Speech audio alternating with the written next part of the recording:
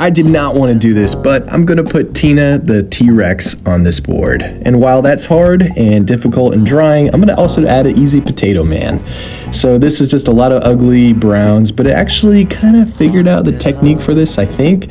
It comes together all right. The potato, that's easy. So here is Tina and the final shots here, and I'll see you on the next part.